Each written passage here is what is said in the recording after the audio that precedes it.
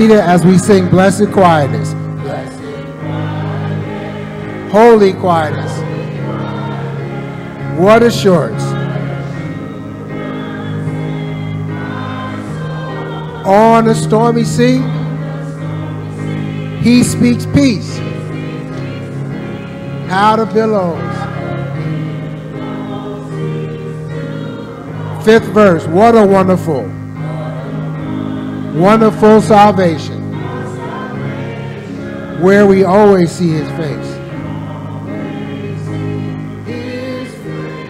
What a perfect habitation.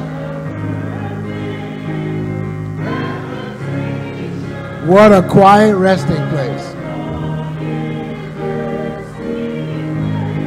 Blessed quietness. Holy quietness. What assurance.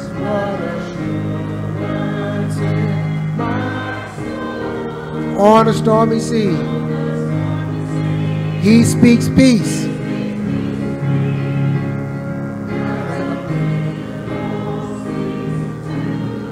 Blessed quietness. Blessed. Holy quietness. What assurance. On a stormy sea.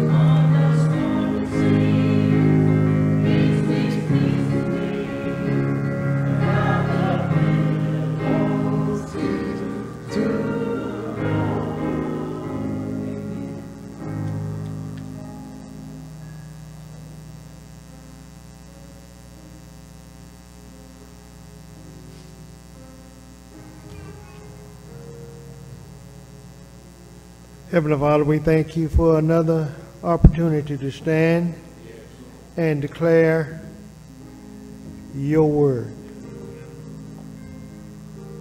Not my word, but your word. We thank you. We ask, Lord, that you let us down into the deep treasures of the storehouse of your knowledge. And let us bring forth those things that you have shared with us. We thank you for blessing your people here in this location and wherever they're meeting this morning. We thank you, Lord. Hide us behind the cross that men may see Jesus and not us. We thank you. In the precious name of our Lord and Savior Jesus Christ. Amen.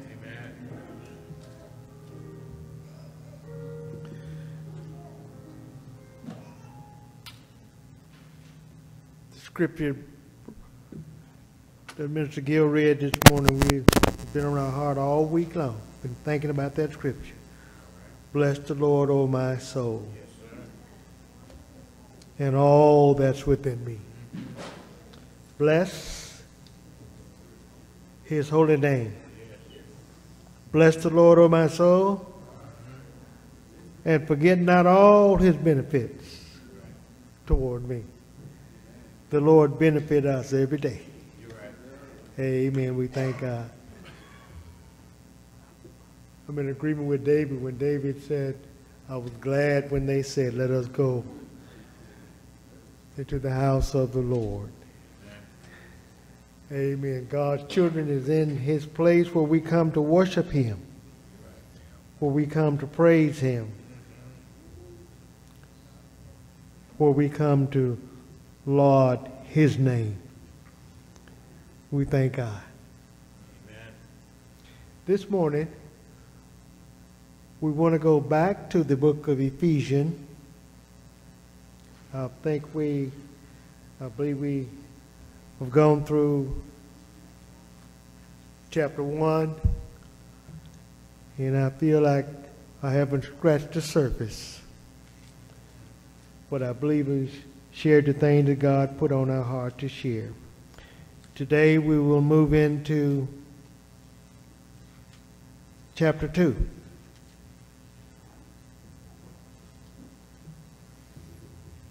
Ephesians chapter 2. We've been talking about the great thing God has done. This morning I want to talk about all that plus more. That's, that's not all God has done in chapter 1. You got to go on to chapter 2 and see what else He's done. In chapter number 2, we find that we have been made alive with Christ. Praise God for that. We have been made alive with Him because we are in Him. In chapter 2, Paul lets us know that God was not ready to give up on man in spite of what he had done or what he would do. God was not willing to give up on him. I've made this statement before and I need to make it again because I believe it makes a whole lot of sense. Uh, it's not what man was doing or what he would do or what he would continue to do that made man, in church say that makes man a sinner.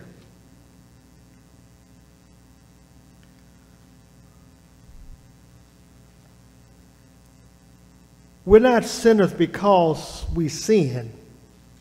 We sin because we're sinners. Now, I don't know whether that makes sense or not, but it, it, it sounds good to me. You see, we are sinners by nature. We inherited the, the natural inclination to sin from Adam. It was Adam that brought sin into the world. In every man, woman, boy, and girl was affected by what Adam did. Now, when you think about it, here is a little tiny, precious soul, little baby, lying in his mother's arm or her mother's arm, had not committed one sin, hadn't thought one evil, evil thought. But yet, that baby comes here or came here in sin because of what Adam did. It's the condition that we're in that causes the problem with man. Again, to make the statement man is not a sinner because he sins, man sinned because he is a sinner. We inherited that nature one more time. We inherited that from the first man. Amen? Listen to verse 1 as Paul speaks to us in chapter 2. He said, And you, talking to the Christians at Ephesus, and he's talking to the Christians at Greater Peace. And you had he quickened in other words, made alive, mm-hmm. who were, you see it, don't you? Mm-hmm. Who were dead in trespasses and sin. Before we committed one sin, listen to this, saint, and you already know this. I'm not telling you anything new. Before we committed one sin, we were dead in trespasses and sin. Once we walk in disobedience, we walked according to the standard of this world.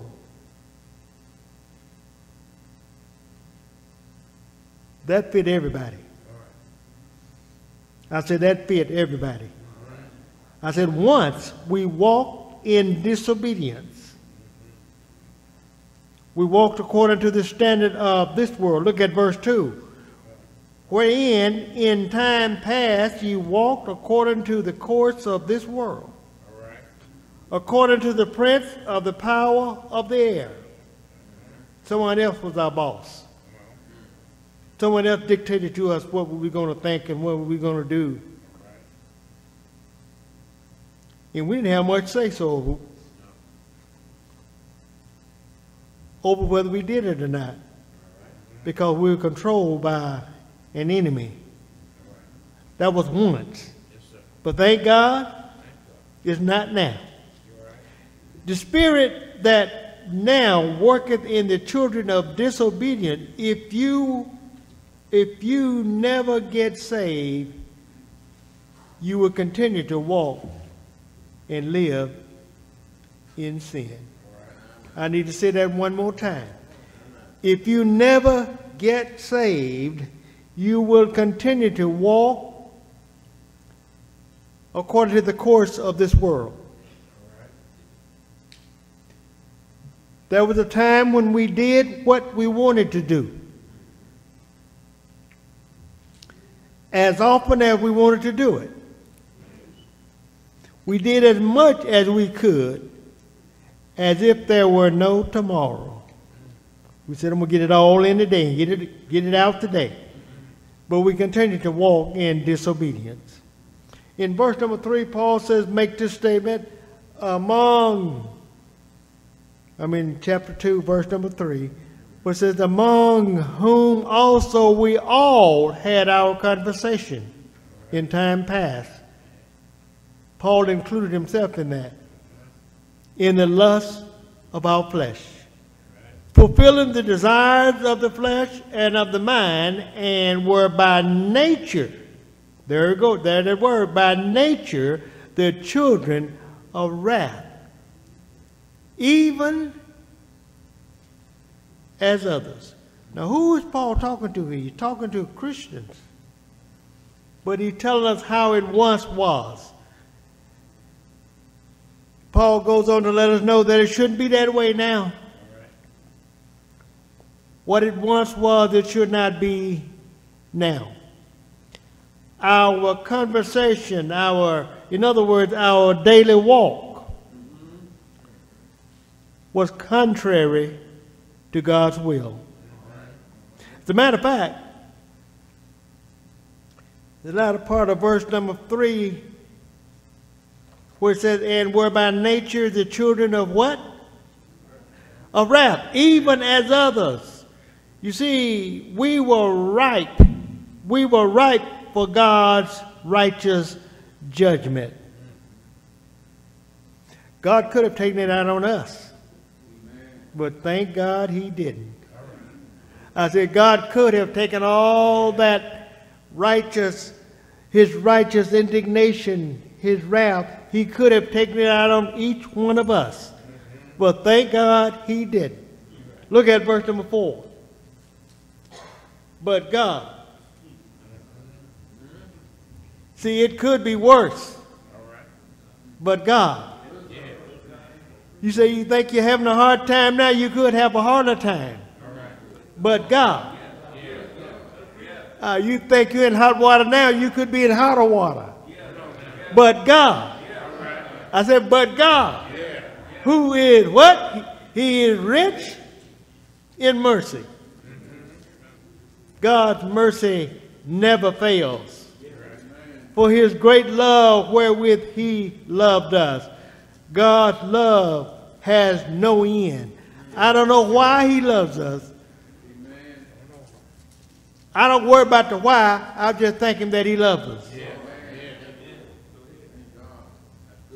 He's a merciful God. You know that, don't you? I'm just declaring that he is a merciful God. He is a gracious God. He is a compassionate God. He's kind to us when we don't deserve His kindness. He loves us when we really don't deserve His love. But thank God that He doesn't wait till we deserve His love. God loved us before we became children of God. Verse number five said, even when we were dead, when you're dead, you're dead. When you're dead, you're not alive. Even when we were dead in sin. What has he done? The Bible says he has quickened us together with Christ. Uh, to quicken us together with Christ, in other words, he has made us alive. Those of us who were, and that was all of us, who were dead in sin, we are now, that's the way God looks at us, we are now one with Christ. What God has reserved for his son, Christ Jesus, uh, he has it for his children as well. You see, he has raised us up together and made us, listen to a church, and made us do what? Sit together. Where are we positionally right now? We are positionally in Christ Jesus. Now, let me ask you another question. Where's Christ Jesus right now? Well, the Bible says uh, he is seated at the right hand of the Father. So we are in Christ Jesus seated at the right hand of the Father. Where's that? The Bible tells me that that is in heaven. I'm glad that positionally we are in Christ Jesus. Positionally, we enjoy all of the spiritual blessing that the Lord has bestowed upon his children. Uh, you say, I'm not enjoying his spiritual blessing. Well, you got to believe what he says. You got to trust in what he says. You got to rely upon what he has said. Because when God says something, guess what? God means what he said. God is not man that he should lie. God always speaks the truth. Uh, Paul goes on to say that in the age, ages to come, he might do something. He might show forth, he might show the exceeding riches of his grace in his kindness toward us through Christ Jesus. I don't know about you, church, but I'm going to admit right now that I don't understand it all now. But I do know that one day, I said, I do know that one day, oh, you said one day, are you talking about one day if you live long enough? No, I'm going beyond living on this earth. One day, we're going to understand it. I said, we're going to understand it better by and by. You know that song, by and by. Lord, have mercy. We're going to understand what God had done for us. We're going to understand it better. We're going to appreciate it more than we do now. You see, we might not appreciate how good He is now. We might not appreciate the fact, I said might not, appreciate the fact that He woke us up this morning. We might not appreciate the fact that He let us come down the road safely this morning. We might not, I said we might not, we might not appreciate the fact that He let us walk in this place this morning to give glory, honor, and praise to His name. But one day, I said sooner or later, we're going to understand it, church. We're going to understand it better, better by and by. For I realize and I thank God for this now. By grace. I said, by grace, for by grace, not merit, by grace, not being able to buy your way through, but by grace, God's free gift, for by grace, Are you saved? Lord, have mercy. Look at it now. For by grace are you saved through faith. And that not of yourself. Look at what he said is the gift, is a gift of God. God is the one who conferred grace upon me. God is the one who confers grace upon you. And I thank God for his grace. My God's grace is amazing. My God, grace is all right. Thank God that he keep me in his grace. He keeps me in his mercy. He keeps me because, not because I'm so good, not because I do everything right, not because I think all right thoughts all the time, but it's by grace. I said it's by grace. God's grace. I'm going to say it one more time. God's grace is amazing. Amazing grace. You know it. How sweet the sound. Ah, that saved a wretch like me. I, I, I once was lost. Thank God, but now I'm found. Thank God, I once, I was blind. Thank God, but now I see. Thank God, I once was controlled by the natural man, but thank God, I'm controlled now by the spiritual man. I, now, y'all, don't get me wrong. I didn't say I always listen to the spiritual, spiritual, spiritual one talking to me, but I said I'm controlled by the spiritual man. God's Holy Spirit. I said God's Holy Spirit is who the one who teaches me. He teaches me to walk right. He teaches me to talk right. In other words, he teaches me to live right. He teaches me to love right. He teaches me to do what I ought to do to please Almighty God. If you want to please God today, first you got to be saved. You cannot please God. I don't care what you do. You cannot please God. I don't care how you think. You cannot please God. I don't care how you talk. Uh, you cannot please God. I don't care how you walk as a natural man. You got to have the Spirit. You got to have the Holy Spirit. God gives us, I was telling, sharing with my brother this morning, God gives us, I believe, the Holy Spirit the moment that we're saved. He baptizes us. He baptizes us. Lord, have mercy into the body of Christ.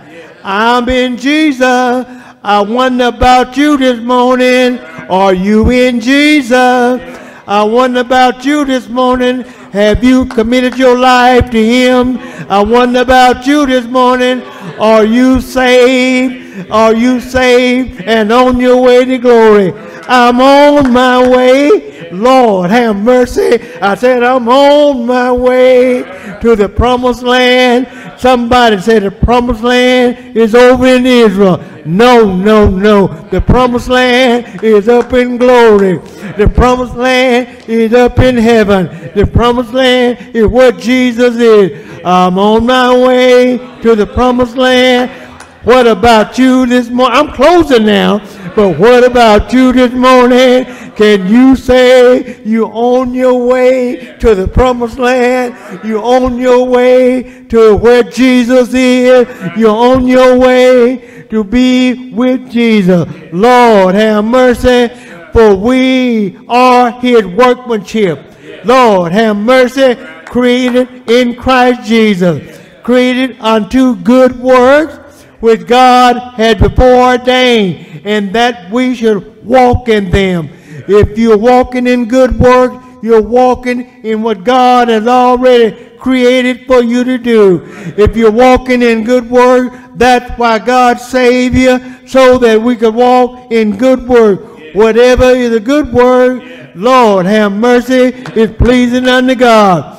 Whatever is my work without the Holy Spirit is not pleasing unto God.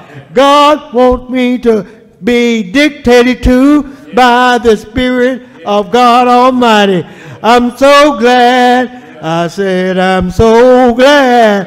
I'm so glad that God thought about me when I was not thinking about my own welfare. God thought about my welfare. God thought about me and said, that boy need to be saved. God thought about me and said, that boy need to learn to listen to me. God thought about me and he reached down and plucked me out of sin. Lord, have mercy. Somebody said, brother, I never was that deep in sin. But if you were born into this world, you came here as a sinner. Lord, have mercy. I'm so glad. I said, I'm so glad. How many of you are glad this morning? I said, I'm so, let me hear you say, I'm so glad. I'm so glad. I'm so glad that God saved. He saved my soul. That God saved. He saved me whole. That God saved. He makes me bold. I thank you, Lord. God did it. Who did it? God did it. Who's doing it? God is doing it. Who will continue to do it? God will continue to do it. Aren't you glad this morning? Jesus purchased the right. Jesus purchased the right to give me eternal life. Jesus is the one who purchased this right. Jesus is the one who went to that cross. Jesus is the one who gave his life, the righteous for the unrighteous. Jesus is the one who gave his life, the sinless for the sinner. Jesus is the one who died. He died on the cross. You know the story. He died on the cross. You know the story. He died on the cross. But thank God he did more than die. He not only died, but he was buried in a borrowed tomb. Thank God he did more than allow himself to be buried in a borrowed tomb. Oh, he went down into the heart of paradise. He went down there and had a little talk with those fellows, those sisters, amen, that trusted in the Lord. And he told them, let's go home. He took them back to glory. They didn't go to heaven when they died. They went down into paradise. But I'm not going down into paradise. You not going down into paradise. You're going up to glory. Lord have mercy. You going up to glory. Somebody say, why am I going up to glory? Because Jesus, when he came back out of paradise, he came back to earth. He declared all power. Oh, oh, oh, oh, oh, oh I wish I could holler right now.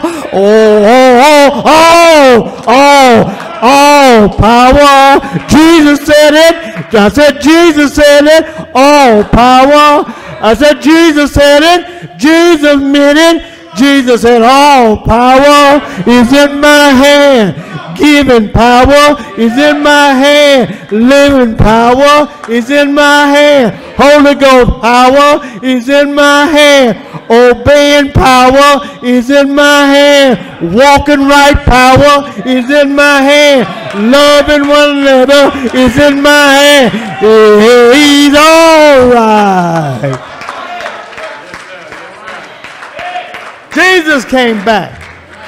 Yes, he went to the cross. Yes, he went in the tomb, but he came back from the dead. The Father would not allow his Son to remain in that position. The Father raised him. The Holy Ghost raised him. Jesus raised himself from the dead in order, Lord have mercy, in order to allow me to enjoy this life, whether it's long or short, to enjoy this life, whether it's pain or pain free, to enjoy this life down here on earth. I enjoy every day. I said, I enjoy every day. Oh, right now, of course, this ain't going to last for always. Right now, walking on this cane, I still enjoy every day. Because this too shall come to pass. I said, this too shall come to pass. Oh, God is all right, church. He's all right, church. Amen. Praise God. He is all right. I know he's all right. I know he's all right. Every child of God knows that he's all right. For those of you who are watching this broadcast, you can accept the Lord Jesus Christ right where you are. You don't have to put on any show. You can accept Him right where you are. Let Him know that you recognize, that you realize that without Jesus, not only are you a sinner, but you're a lost sinner. Those who are sitting in this audience, and you're not a child of God, I would not want to live on this earth. Knowing what I know now, what little bit I know now, I would not want to live on this earth without knowing Jesus as my Savior. How about you? I wouldn't want to live on this earth now without knowing Jesus as my Savior. He knows who you are, He knows where you are, and He knows, Lord, knows He knows what you need. You can accept Him as your Savior right where you are right now. If you're in this house or in some other house and you've heard the word of the Lord, He's speaking to your heart. You can say, Lord Jesus, yes, I recognize I'm a sinner. And as a sinner, I recognize that I'm lost. I don't want to be a lost sinner. Lord, come into my life and save me. Save me, Lord. Let me experience your salvation. And Lord, teach me, teach me to follow you where you go. Teach me, Lord, to walk with you in the Spirit. Thank you in Jesus' name. Thank you, Lord. Thank you, Lord. There may be someone in this house right now. I said, there may be someone in this house right now who do not know the Lord Jesus Christ as your personal Savior. In other words, what I'm saying is, you've never invited Him to come into your life. See, the Lord had to be invited in. He does not knock the door down and come in. You have to invite Him in. He said, I stand at the door and I do what? I knock. I knock. If any man, any woman, any boy, any girl hear my voice and do what? And open the door. What did he promise? I will. I will come in. I will sup with that person and they will sup with me. In other words, I will live in that person and they will live in me. As we have the invitation sung.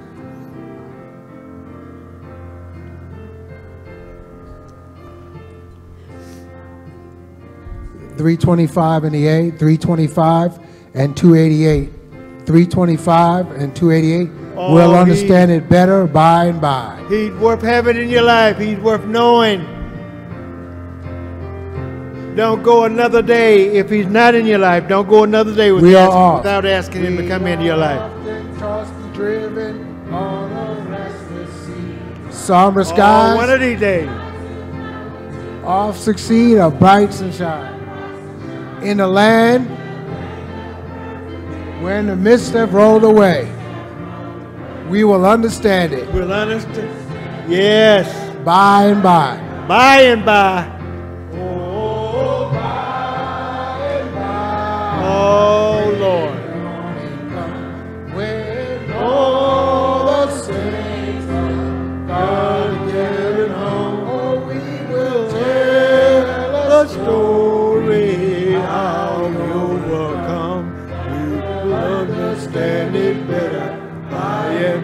Verse 3 By and by. And we cannot understand all the ways that God will lead us. Oh, yes, Lord. but He guides us with His eye and will follow till He die. For we'll understand it We'll understand it better. We're going to know more about it by and by. when we see Jesus.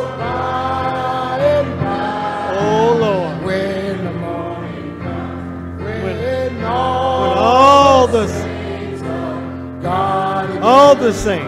Oh, we will tell the story, how we overcome.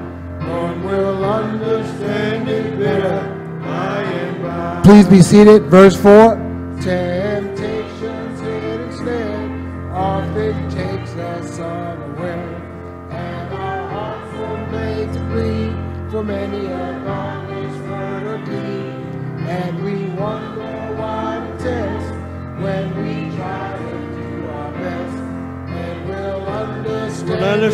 it better by and by.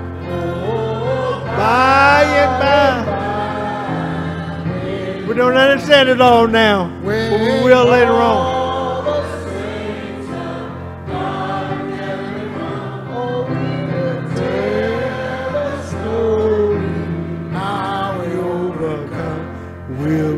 understand it better.